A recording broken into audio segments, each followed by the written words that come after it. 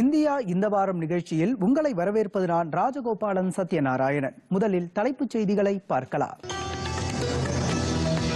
புதுதில்லியில் நடைபெற்றது ஆளுநர்கள் மாநாடு. மத்திய மாநில அரசுகள் ஒருங்கிணைந்து செயல்படும்போதுதான் ஜனநாயகம் தலை தோங்கும். குடியரசுத் தலைவர் திரௌபதி முர்மு வலியுறுத்தல். எட்டு மாநிலங்கள் மற்றும் இரண்டு யூனியன் பிரதேசங்களுக்கு புதிய ஆளுநர்கள் நியமனம். குடியரசுத் தலைவர் திரௌபதி முர்மு உத்தரவு. ஜார்க்கண்ட் ஆளுநராக இருந்த சி. பி. ராதாகிருஷ்ணன் மகாராஷ்டிரா மாநில ஆளுநரானார். அரசியலமைப்பையும் ஜனநாயகத்தையும் பாதுகாப்பதே நாடாளுமன்றத்தின் முதன்மை பணி. குடியரசு துணைத் தலைவர் ஜக்தீப் தன்கர் கருத்து. ஆகஸ்ட் ஒன்பதாம் தேதி முதல் பதினைந்தாம் தேதி வரை இல்லந்தோறும் தேசிய கொடி ஏற்றுங்கள். நாட்டு மக்களுக்கு பிரதமர் நரேந்திர மோடி வேண்டுகோள். புதிய தொழில்நுட்பங்கள் மாற்றங்களை பயன்படுத்தி சர்வதேச முதலீடுகளை ஈர்க்க வேண்டும். நித்தி ஆயோக் கூட்டத்தில் பிரதமர் நரேந்திர மோடி வலியுறுத்தல். லாவோஸ் பிரதமருடன் வெளியுறவு அமைச்சர் ஜெய்சங்கர் சந்திப்பு. கடத்தப்பட்ட இந்தியர்களை லாவோஸ் அரசின் ஒத்துழைப்புடன் மீட்கும் நடவடிக்கைகளுக்கு பாராட்டு. வயநாடு நிலச்சரிவில் சிக்கி உயிரிழந்தோரின் எண்ணிக்கை முன்னூரை கடந்தது. மீட்பு பணிகள் தொடர்ந்து தீவிரம். காதி விற்பனை ஒன்றரை லட்சம் கோடி ரூபாயை தாண்டியிருப்பது மகிழ்ச்சி அளிக்கிறது என பிரதமர் நரேந்திர மோடி பெருமிதம். அனைவரும் கதராடைகளை அணியுமாறு மனதின் குரல் நிகழ்ச்சியில் வேண்டுகோள். பட்டியல் இனத்தவர்களுக்கு உள் ஒதுக்கீடு வழங்க தடையில்லை என உச்சநீதிமன்றம் தீர்ப்பு. விளிம்பு நிலை மக்களுக்கான வாக்குறுதியை பிரதமர் நரேந்திர மோடி நிறைவேற்றியிருக்கிறார். தீர்ப்பு குறித்து மத்திய இணையமைச்சர் எல் முருகன் வரவேற்பு. அடுத்த நிதியாண்டில் நிதி பற்றாக்குறையை நான்கு புள்ளி ஐந்து சதவீதத்திற்கு கீழ் கொண்டுவர நடவடிக்கை. மாநிலங்களவையில் நிதியமைச்சர் நிர்மலா சீதாராமன் உறுதி. சாதிவாரி கணக்கெடுப்பு நடத்த வேண்டியது அவசியம். மக்களவையில் எதிர்க்கட்சித் தலைவர் ராகுல் காந்தி வலியுறுத்தல். வயநாடு நிலச்சரிவை தேசிய பேரிடராக அறிவிக்க வேண்டும். மக்களவை எதிர்க்கட்சித் தலைவர் ராகுல் காந்தி வலியுறுத்தல். பொதுமக்களிடமிருந்து பெறப்படும் கோரிக்கை மனுக்களுக்கு உடனுக்குடன் தீர்வு காண வேண்டும். அதிகாரிகளுக்கு முதலமைச்சர் மு ஸ்டாலின் அறிவுறுத்தல். ஒரே ஒலிம்பிக்கில் இரண்டு பதக்கங்களை வென்று மனு பாக்கர் வரலாற்று சாதனை.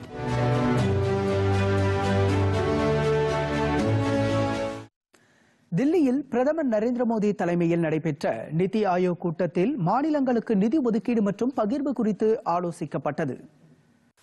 இக்கூட்டத்தில் பேசிய பிரதமர் இந்தியாவை இரண்டாயிரத்து நாற்பத்தி ஏழாம் ஆண்டுக்குள் வளர்ச்சியடைந்த நாடாக மாற்றுவது என்பது ஒவ்வொரு இந்தியரின் விருப்பம் என்றார். இந்த இலக்கை அடைவதற்கு மக்களுடன் நேரடியாக தொடர்புள்ள மாநிலங்கள் முக்கிய பங்காற்ற வேண்டும் எனவும் பிரதமர் வலியுறுத்தினார். மாநிலங்கள் வளர்ச்சியடைந்தால் இந்தியாவும் வளர்ச்சியடையும் என்று அவர் குறிப்பிட்டார். இந்த தசாப்த மாற்றங்கள். தொழில்நுட்பம் மற்றும் புவி அரசியலுக்கானது என்பதோடு பல்வேறு வாய்ப்புகளையும் வழங்குவதாக உள்ளதென பிரதமர் கூறினார். நாட்டு மக்கள் அனைவரும் மிகுந்த உற்சாகம் மற்றும் அமைதியுடன் இருப்பதாகவும் பிரதமர் தெரிவித்தார். இந்த கூட்டத்தில் மத்திய அமைச்சர்கள் ராஜ்நாத் சிங் அமித்ஷா உள்ளிட்டோர் பங்கேற்றனர்.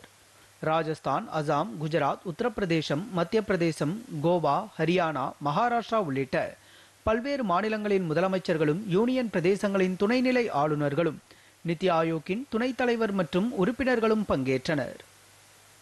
மூன்று நாள் அரசு நம் நாட்டின்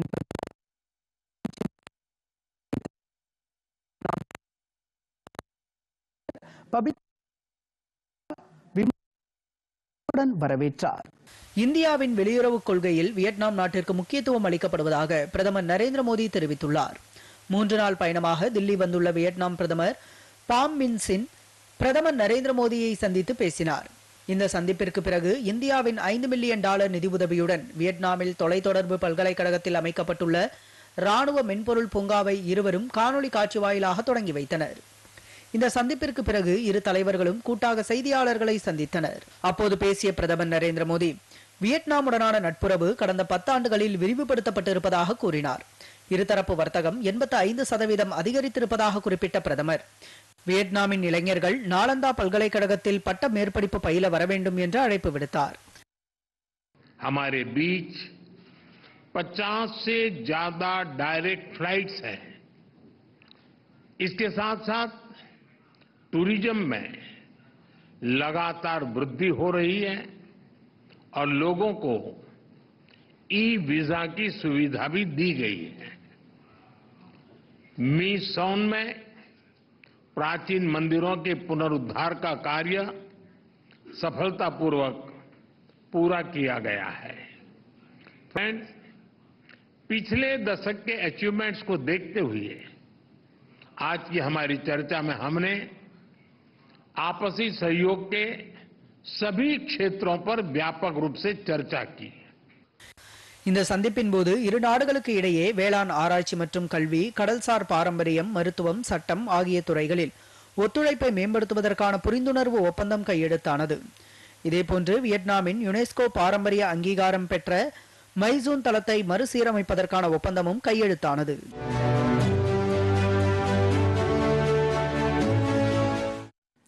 நித்தி ஆயோக் கூட்டத்தில் அனைத்து மாநில முதலமைச்சர்களும் பேசுவதற்கு உரிய வாய்ப்பளிக்கப்பட்டதாக மத்திய நிதியமைச்சர் நிர்மலா சீதாராமன் தெரிவித்துள்ளார். இந்த கூட்டத்தில் பங்கேற்ற மேற்குவங்க முதலமைச்சர் மம்தா பானர்ஜி கூட்டம் தொடங்கிய சில நிமிடங்களிலேயே மாநில அரசின் கோரிக்கைகள் ஏற்கப்படுவதில்லை என குற்றம் சாட்டி கூட்டத்திலிருந்து வெளிநடப்பு செய்தார். பின்னர் செய்தியாளர்களிடம் பேசிய அவர் தமக்கு முன்னால் பேசிய முதலமைச்சர்களுக்கு அதிக நேரம் வழங்கப்பட்ட நிலையில் தாம் பேசிய போது மைக் இணைப்பு துண்டிக்கப்பட்டு ஐந்து நிமிடத்திலேயே பேச்சை முடிக்க அறிவுறுத்தப்பட்டதாக கூறினார். மம்தா பானர்ஜியின் இந்த குற்றச்சாட்டை மறுத்துள்ள மத்திய நிதியமைச்சர் நிர்மலா சீதாராமன் மம்தா பானர்ஜி கூட்டத்தில் பங்கேற்றது மகிழ்ச்சியளிக்கக்கூடியது குற்றச்சாட்டுகள் துரதிர்ஷ்டவசமானது என்றார். அவரது மைக் இணைப்பு துண்டிக்கப்படவில்லை என்றும் இந்த குற்றச்சாட்டில் உண்மையில்லை என்றும் அனைத்து மாநில முதலமைச்சர்களும் பேசுவதற்கு உரிய நேரம் ஒதுக்கப்பட்டதாகவும் நிர்மலா சீதாராமன் தெரிவித்துள்ளார். கூடுதல் நேரம் தேவைப்பட்டால் அது குறித்து கேட்டிருக்கலாம் என்றும் ஆனால் அதை விட்டுவிட்டு அவர் வெளிநடப்பு செய்துவிட்டதாகவும் விளக்கமளித்தார். ஜூலை இருபத்தி ஏழாம் தேதி லாவோஸ் சென்ற வெளியுறவு அமைச்சர் ஜெய்சங்கர் அந்நாட்டு பிரதமரை சந்தித்து பேசினார். மரியாதை நிமித்தமாக நடைபெற்ற இந்த சந்திப்பின் போது இரு நாடுகளுக்கு இடையேயான ஒத்துழைப்பு குறித்து ஆலோசித்தனர்.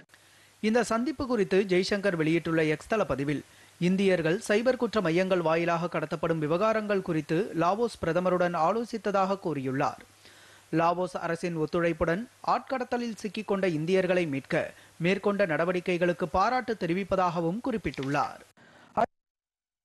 பற்றாக்குறையை கொண்டுவர நிர்மலா சீதாராமன் மாநிலங்களவையில் பட்ஜெட் மீதான விவாதத்திற்கு பதிலளித்து பேசிய அவர் வளர்ச்சி வேலைவாய்ப்பு மக்கள் நலன் மூலதன முதலீடு நிதி பகிர்வு ஆகிய முக்கிய அம்சங்களுக்கு முன்னுரிமை அளித்தே நிதிநிலை அறிக்கை தயாரிக்கப்பட்டதாக கூறினார். விண்வெளித்துறையில் மேற்கொள்ளப்பட்ட சீர்திருத்தங்களால் ஏராளமான முதலீடுகள் பெறப்பட்டுள்ளதாக தெரிவித்தார்.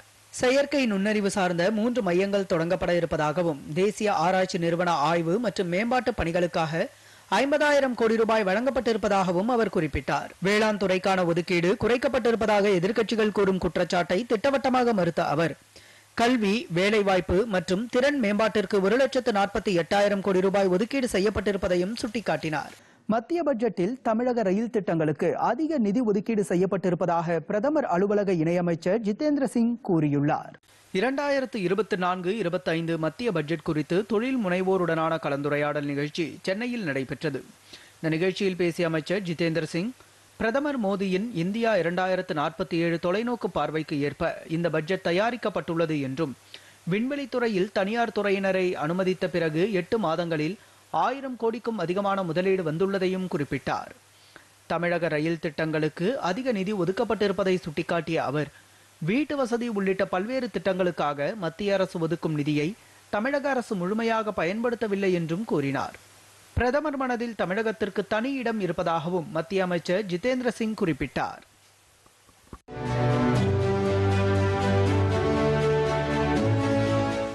தமிழ்நாட்டின் வளர்ச்சிக்கு எதிராக திமுக செயல்படுகிறது என்று மத்திய தகவல் ஒலிபரப்பு மற்றும் நாடாளுமன்ற விவகாரங்கள் துறை இணையமைச்சர் எல் முருகன் குற்றம் சாட்டியுள்ளார்.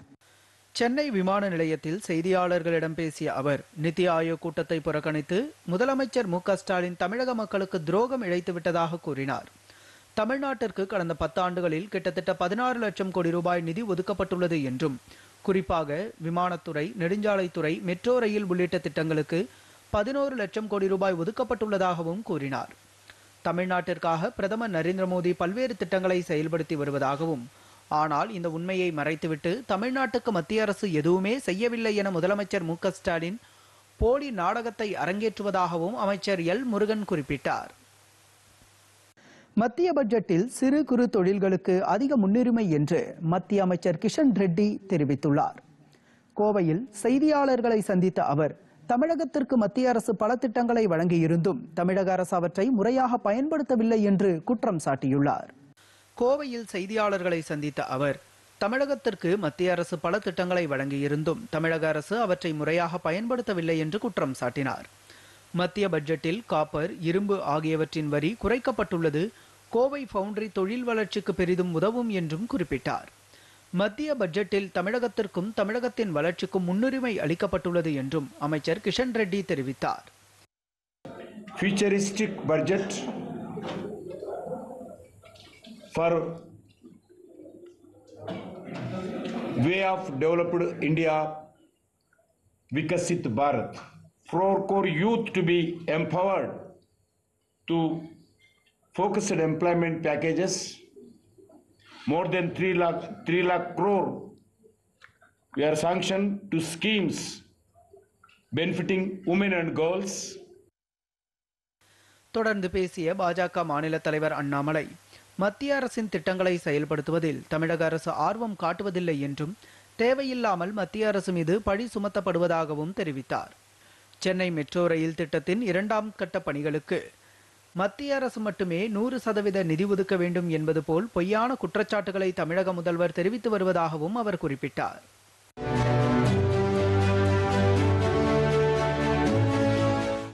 நாட்டு மக்களுடன் தமது எண்ணங்களை பிரதமர் பகிர்ந்து கொள்ளும் மனதின் குரல் நிகழ்ச்சியின் நூற்று பனிரெண்டாவது அத்தியாயம். அகில இந்திய வானொலியில் ஒலிபரப்பானது. இது மூன்றாவது முறையாக நரேந்திர மோடி பிரதமராக பதவியேற்ற பிறகு ஒலிபரப்பாகும் இரண்டாவது அத்தியாயமாகும். இதில் ஒலிம்பிக் முதல் மாணவர்களுடனான கலந்துரையாடல் என பல்வேறு விஷயங்களை பிரதமர் பகிர்ந்து கொண்டார். பாரிஸ் ஒலிம்பிக்கின் நிழல் படர்ந்துள்ள நிலையில் உலக அரங்கில் நமது மூவண்ண கொடியை பெருமையோடு பறக்கவிடும் இந்தியர்களுக்கு சியர் ஃபார் பாரத் எனும் ஹேஷ்டேக் மூலம் நாம் அனைவரும் ஆதரவளிப்பது அவசியம் என குறிப்பிட்டார். காதி கிராமோத்யோக் பவனத்தின் வியாபாரம் ஒன்றரை லட்சம் கோடி ரூபாயை தாண்டியிருப்பதை மகிழ்ச்சியோடு தெரிவித்த பிரதமர் அனைவரும் கதராடைகளை வாங்கி அணிய வேண்டும் என வலியுறுத்தினார். மேலும் நமது சுதந்திரத்தோடு தொடர்புடைய ஆகஸ்ட் மாதம் அதற்கு பொருத்தமாக இருக்கும் என்றும் குறிப்பிட்டார். இளைய தலைமுறையினர் போதைப் பொருட்களுக்கு அடிமையாவதை தடுக்கும் வகையில் அரசு சார்பில் சிறப்பு மையங்கள் திறக்கப்பட்டுள்ளதை நினைவு கூர்ந்த பிரதமர். போதைப் பொருட்களுக்கு எதிராக இந்த போரில் அனைவரும் பங்கு பெற வேண்டும் எனவும் கேட்டுக்கொண்டுள்ளார் இதற்கென போதைப் பொருள் கட்டுப்பாட்டு அலுவலகம் அறிமுகப்படுத்தியுள்ள உதவி எண்களை முழுமையாக பயன்படுத்திக் கொள்ள வேண்டும் எனவும் குறிப்பிட்டார்.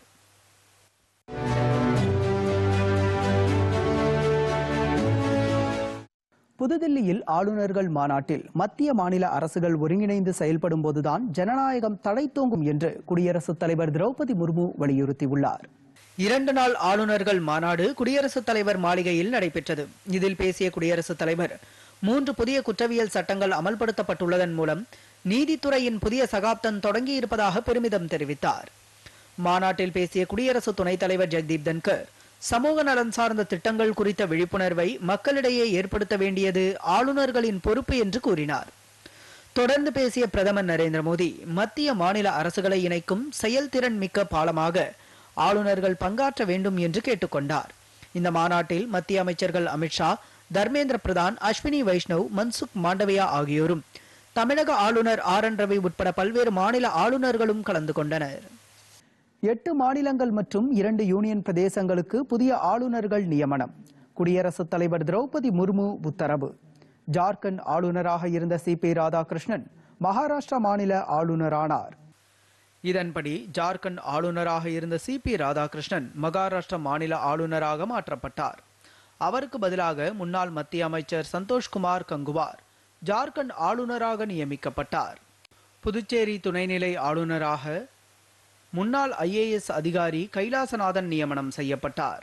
மகாராஷ்டிரா சட்டப்பேரவை முன்னாள் சபாநாயகர் ஹரிபாவ் கிஷன் ராவ் ராஜஸ்தான் மாநில ஆளுநராக நியமனம் செய்யப்பட்டார்.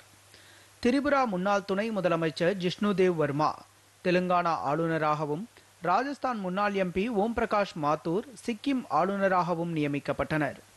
சத்தீஸ்கர் ஆளுநராக அசாமை சேர்ந்த முன்னாள் எம்பி ரமேன் டெக்காவும் முன்னாள் கர்நாடக அமைச்சர் சி ஹெச் விஜயசங்கர் மேகாலய ஆளுநராகவும் நியமனம் செய்யப்பட்டுள்ளனர். அசாம் ஆளுநர் குலாப்சந்த் கட்டாரியா பஞ்சாப் ஆளுநராகவும் சிக்கிம் ஆளுநராக உள்ள லக்ஷ்மண் பிரசாத் ஆச்சாரியா அசாம் ஆளுநராகவும் நியமிக்கப்பட்டுள்ளனர்.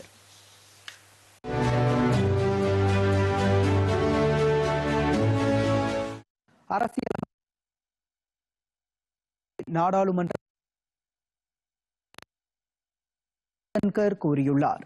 நாடாளுமன்ற வளாகத்தில் நடைபெற்ற புத்தாக்க நிகழ்ச்சியில் கலந்து கொண்டு உரையாற்றிய அவர் நாடாளுமன்ற உறுப்பினர்களே ஜனநாயகத்தின் பாதுகாவலர்கள் என்றார். நாடாளுமன்ற விவாதத்தின் போது பிரச்சனைகளை பற்றி விரிவாக எடுத்துரைப்பதற்கு பதிலாக தனிநபர் தாக்குதல்களை நடத்தும் போக்கு உறுப்பினர்களிடையே அதிகரித்து வருவது குறித்து வேதனை தெரிவித்தார். அவசர நிலை இந்திய ஜனநாயகத்தில் வேதனை மிகுந்த இதயத்தை நொறுக்கும் இருண்ட அத்தியாயம் என்று விமர்சித்த ஜெகதீப் தன்கர் அரசியலமைப்பு வெறும் காகிதமாக சுருக்கப்பட்டு அடிப்படை உரிமைகள் கடுமையாக மீறப்பட்டு தலைவர்கள் சிறையில் அடைக்கப்பட்டதையும் நினைவு கூர்ந்தார். ஜனநாயகத்தின் அடிப்படை தூண்களான நிர்வாகம் நீதித்துறை சட்டமன்றம் நாடாளுமன்றம் ஆகியவை பலவீனம் அடைவது சாதாரண குடிமக்களை பெரிதும் பாதிக்கும் என்றார். எனவே நாடாளுமன்றத்தில் கண்ணியமான ஆக்கப்பூர்வமான விவாதங்கள் நடைபெற வேண்டியது அவசியம் என்றும் ஜெகதீப் தன்கர் குறிப்பிட்டார்.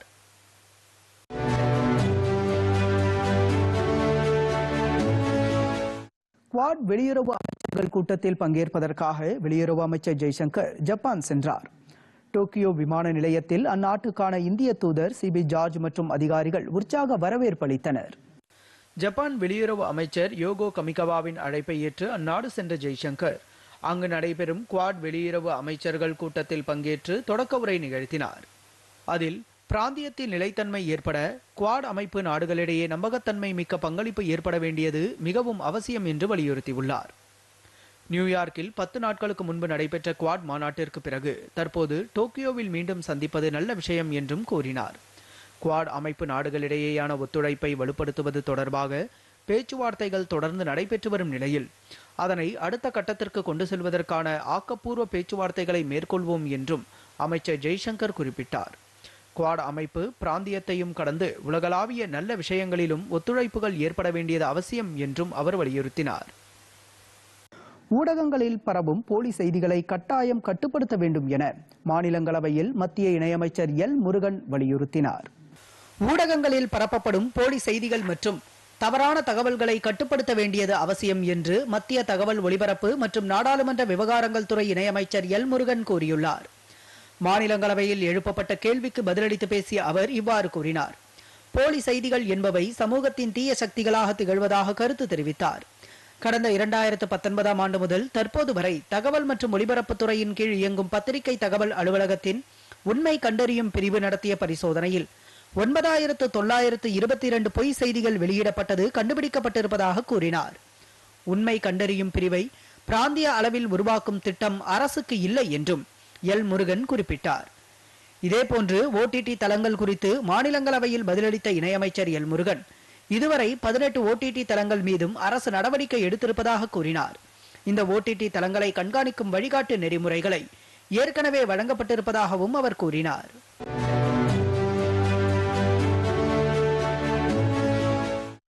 பொதுமக்களிடமிருந்து பெறும் கோரிக்கை மனுக்கள் மீது உடனுக்குடன் தீர்வு கண்டு உரிய பயன்கள் பயனாளிகளுக்கு சென்று சேர்வதை உறுதி செய்யுமாறு அதிகாரிகளுக்கு முதலமைச்சர் மு ஸ்டாலின் அறிவுறுத்தியுள்ளார்.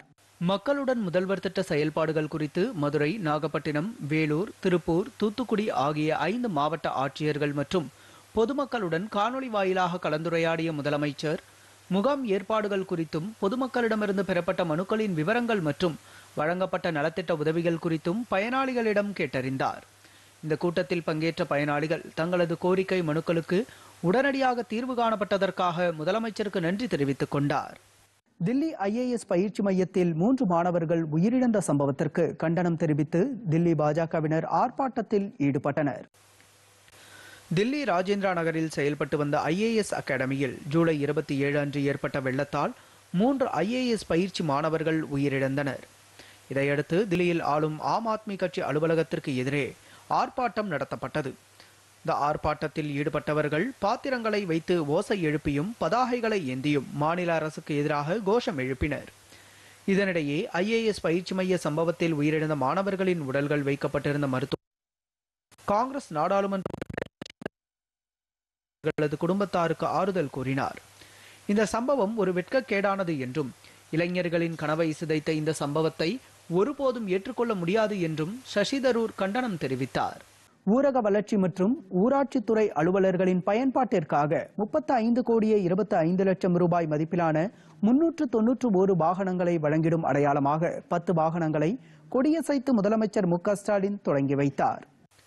மேலும் ஊரக வளர்ச்சி மற்றும் ஊராட்சித்துறை சார்பில் சிவகங்கை தேனி திருவாரூர் கள்ளக்குறிச்சி மதுரை ராமநாதபுரம் திருவண்ணாமலை கன்னியாகுமரி திருச்சிராப்பள்ளி மற்றும் வேலூர் ஆகிய மாவட்டங்களில் எழுபத்தோரு கோடியே தொன்னூற்று நான்கு லட்சம் ரூபாய் செலவில் கட்டப்பட்டுள்ள பத்தொன்பது ஊராட்சி ஒன்றிய அலுவலக கட்டடங்களை அவர் திறந்து வைத்தார். சமூக நலன் மற்றும் மகளிர் உரிமைத்துறையின் சார்பில் திருநங்கைகளின் நலனிற்காக சிறப்பான முறையில் சேவை புரிந்ததற்கான இரண்டாயிரத்து இருபத்தி நான்காம் ஆண்டிற்கான சிறந்த திருநங்கை விருதினை கன்னியாகுமரி மாவட்டத்தைச் சேர்ந்த திருநங்கை சந்தியா தேவிக்கு முதலமைச்சர் வழங்கினார். தமிழ்நாடு பால் உற்பத்தியாளர்கள் கூட்டுறவு இணையமான ஆவின் சார்பில் பத்து கோடியே அறுபத்தோரு லட்சம் ரூபாய் செலவில் கட்டப்பட்டுள்ள ஐம்பதாயிரம் லிட்டர் பால் உற்பத்தி திறன் கொண்ட இரண்டு பால் பண்ணைகள் ஐந்தாயிரம் லிட்டர் திறன் கொண்ட தயிர் மற்றும் மோர் தயாரிக்கும் ஆலை மற்றும் ஆய்வக கட்டடம் ஆகியவற்றையும் முதலமைச்சர் திறந்து வைத்தார். மேலும் கடலூர் மாவட்டம் பொடையூரில் முப்பத்து மூன்று கோடி ரூபாய் மதிப்பீட்டில் கால்நடை தீவன தொழிற்சாலை அமைக்கும் பணிக்கும் முதலமைச்சர் மு க ஸ்டாலின் அடிக்கல் நாட்டினார். ஒரே ஒலிம்பிக்கில் இரண்டு பதக்கங்களை வென்று மனுபாக்கர் வரலாற்று சாதனை படைத்திருக்கிறார். ஐம்பது மீட்டர் துப்பாக்கிச் சுடும் போட்டியில் ஸ்வப்னில் குசாலே வெண்கலம் வென்றுள்ளார்.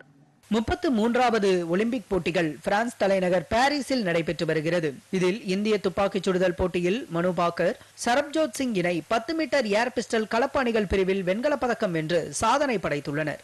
இது நடப்பு ஒலிம்பிக் தொடரில் இந்தியாவிற்கான இரண்டாவது பதக்கமாகும். இதன் மூலம் ஒரே ஒலிம்பிக் போட்டியில் இரண்டு பதக்கங்களை வென்று வரலாற்று சாதனையை மனுபாக்கர் படைத்திருக்கிறார். ஒலிம்பிக்கில் பதக்கம் வென்றுள்ள இந்த இணைக்கு குடியரசுத் தலைவர் திரௌபதி முர்மு வாழ்த்து தெரிவித்துள்ளார். இது குறித்து அவர் வெளியிட்டுள்ள எக்ஸ் வலைதள பதிவில் ஒரே ஒலிம்பிக்கில் இரண்டு பதக்கங்களை வென்ற இந்தியாவின் முதல் பெண் துப்பாக்கிச் சுடுதல் வீராங்கனை என்ற வரலாறு படைத்துள்ளார் மனுபாக்கர் என்று தெரிவித்தார். பிரதமர் நரேந்திர மோடி வெளியிட்டுள்ள வாழ்த்துச் செய்தியில் இந்திய துப்பாக்கிச் சுடுதல் வீரர்கள் நாட்டிற்கு தொடர்ச்சியாக பெருமை சேர்த்து வருவதாக கூறினார். வீரர்கள் இருவரும் சிறப்பான திறமையும் குழு பணியையும் வெளிப்படுத்தி இருப்பதாகவும் அவர்களது சாதனையால் தேசம் மற்றற்ற மகிழ்ச்சியில் திளைத்திருப்பதாகவும் குறிப்பிட்டார்.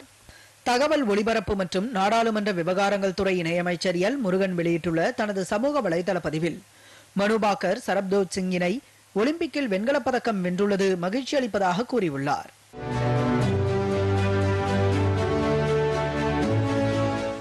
பட்டியலினத்தவர்களுக்கு உள் ஒதுக்கீடு வழங்க எந்த தடையும் இல்லை என்றும் அதற்கான வரையறை செய்ய மாநில அரசுகளுக்கு உரிமை உள்ளது என்றும் உச்சநீதிமன்ற அரசியல் சாசன அமர்வு தீர்ப்பளித்துள்ளது. இது தொடர்பான வழக்கு தலைமை நீதிபதி தலைமையிலான ஏழு நீதிபதிகள் அடங்கிய அரசியல் சாசன அமர்வில் விசாரணைக்கு வந்தது. அப்போது அரசியல் சட்டத்தின் பதினான்காவது பிரிவை உள் ஒதுக்கீடு மீறவில்லை என்றனர். பட்டியலின உட்பிரிவுகள் எதுவும் பட்டியல் வகுப்பினர் என்ற வரையறையில் இருந்து விலக்கப்படாத காரணத்தினால் உள்ஒதுக்கீடு வழங்கலாம் என ஆறு நீதிபதிகள் ஒருமித்த தீர்ப்பளித்தனர். ஒரு நீதிபதி பெலா திரிவேதி மட்டும் மாறுபட்ட தீர்ப்பு வழங்கினார். எனினும் பெரும்பாலான நீதிபதிகளின் கருத்தே ஏற்கப்பட்டது. இதன் மூலம் தமிழகத்தில் அருந்ததியர் சமூகத்திற்கான மூன்று சதவீத உள் ஒதுக்கீடு உறுதி செய்யப்பட்டுள்ளது. இதுபோலவே பஞ்சாப் உள்ளிட்ட மாநிலங்களிலும் பட்டியலின மக்களில் உள் ஒதுக்கீடு வழங்குவது உறுதி செய்யப்பட்டுள்ளது. ஜார்க்கண்ட் மாநிலம் போட்டோபேடா கிராமத்திற்கு அருகே ஹவுரா மும்பை ரயிலின் பதினெட்டு பெட்டிகள் தடம் புரண்டதால் ஏராளமான பயணிகள் காயமடைந்தனர். மும்பை சத்ரபதி சிவாஜி ரயில் நிலையத்திலிருந்து ஹவுரா புறப்பட்ட ரயில் கர்சாவா ரயில் நிலையத்திற்கு அருகே தடம் புரண்டதாக அதிகாரிகள் தெரிவித்தனர். ரயில் பாதையை சீரமைக்கும் பணிகள் மேற்கொள்ளப்பட்டு வந்த நிலையில் பணிகள் நிறைவடைந்து ரயில் போக்குவரத்து மீண்டும் தொடங்கியது.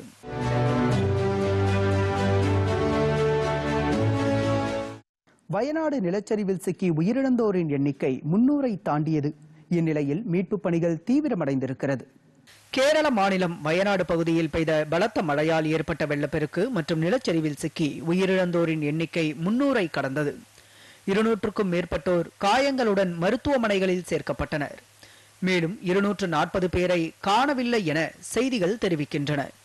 அங்கு மழை பெய்து வரும் போதிலும் மீட்பு பணிகள் தொடர்ந்து மேற்கொள்ளப்பட்டு வருகிறது. இந்த மீட்பு பணிகளில் தமிழக மீட்பு குழுவும் ஈடுபட்டுள்ளது. இதற்கிடையே வயநாடு நிலச்சரிவு பாதிப்புகளை விஞ்ஞானிகள் ஆய்வு செய்ய விதிக்கப்பட்டிருந்த தடையை நீக்குமாறு கேரள மாநில முதலமைச்சர் பினராயி விஜயன் உத்தரவிட்டார். அதன்படி முண்டக்கை சூரல்மலை மலை மேற்பாடி பகுதிகளில் ராணுவத்துடன் இணைந்து இஸ்ரோவும் மீட்பு பணிகளை மேற்கொண்டு வருகிறது. மண் சரிவு ஏற்பட்ட மலைப்பகுதியை ரிசார்ட் சார் எனும் தொழில்நுட்பத்தை பயன்படுத்தி புகைப்படம் எடுத்து இஸ்ரோ வழங்குகிறது. இஸ்ரோவின் தகவலின்படி மண் சரிவு ஆரம்ப புள்ளியிலிருந்து எட்டு கிலோமீட்டர் தூரத்திற்கு பயணித்து முடிந்துள்ளது என்றும் ஒட்டுமொத்தமாக எண்பத்த ஆறாயிரம் சதுர அடி பரப்பு பாதிக்கப்பட்டுள்ளது என்றும் தெரிய வந்துள்ளது இதுவரை ஒன்பதாயிரத்திற்கும் மேற்பட்டவர்கள் மீட்கப்பட்டு வயநாடு மாவட்டத்தில் அமைக்கப்பட்டுள்ள தொன்னூற்று ஒரு நிவாரண முகாம்களில் தங்க வைக்கப்பட்டுள்ளனர். இதனிடையே மக்களவையில் பேசிய மத்திய உள்துறை இணையமைச்சர் நித்யானந்த் ராய் வயநாடு சம்பவம் குறித்து பிரதமர் நரேந்திர மோடி தொடர்ந்து தகவல்களை கேட்டு கண்காணித்து வருவதாக தெரிவித்தார். மத்திய அரசு தரப்பிலிருந்து கேரளாவுக்கு தேவையான உதவிகள் செய்யப்பட்டு வருவதாகவும் அவர் குறிப்பிட்டார். கோழிக்கோட்டிலிருந்து வயநாட்டிற்கு ஹெலிகாப்டரில் சென்ற பினராயி விஜயன் நிலைமையை ஆய்வு செய்தார். நிலச்சரிவால் பாதிக்கப்பட்ட கேரள மாநிலத்தின் வெள்ள நிவாரணப் பணிகளுக்காக ஐந்து கோடி ரூபாய் நிதியுதவி வழங்கப்படும் என முதலமைச்சர் மு க ஸ்டாலின் அறிவித்திருந்தார். அதன்படி மாநில பொதுப்பணித்துறை அமைச்சர் ஏவாவேலு கேரள முதலமைச்சர் பினராயி விஜயனை திருவனந்தபுரத்தில் நேரில் சந்தித்து தமிழக அரசு அறிவித்த ஐந்து கோடி ரூபாய்க்கான காசோலையை வழங்கினார். இதனிடையே நிலச்சரிவு ஏற்படும் ஆபத்து இருப்பதாக கேரள அரசுக்கு மத்திய அரசு முன்கூட்டியே எச்சரிக்கை விடுத்ததாக மத்திய உள்துறை அமைச்சர் அமித்ஷா தெரிவித்தார். மாநிலங்களவையில் வயநாடு நிலச்சரிவு சம்பவம் குறித்து பேசிய அவர் கடந்த இருபத்தி மூன்று மற்றும் இருபத்தி நான்காம் தேதிகளில் கேரளாவின் மலைப்பகுதிகளில் நிலச்சரிவு ஏற்படுவதற்கான வாய்ப்பு இருப்பதாக கேரள அரசுக்கு மத்திய அரசு எச்சரிக்கை விடுத்ததை சுட்டிக்காட்டினார். இது குறித்து பேசிய பினராயி விஜயன் பரஸ்பரம் குற்றம் சாட்டிக் கொள்வதற்கான நேரம் இதுவல்ல என பதிலளித்து சென்றார். வயநாடு நிலச்சரிவை தேசிய பேரிடராக அறிவிக்க வேண்டும் என்று மக்களவை எதிர்க்கட்சித் தலைவர் ராகுல் காந்தி தெரிவித்தார். நிலச்சரிவால் பாதிக்கப்பட்ட வயநாட்டிற்கு காங்கிரஸ் பொதுச் செயலாளர் பிரியங்கா காந்தி மற்றும் ராகுல் காந்தி நேரில் சென்று பாதிக்கப்பட்ட மக்களுக்கு ஆறுதல் தெரிவித்தனர். இத்துடன் இந்தியா இந்த வாரம் நிகழ்ச்சி நிறைவடைந்தது. மீண்டும் மற்றொரு நிகழ்ச்சியில் சந்திக்கலாம். வணக்கம்.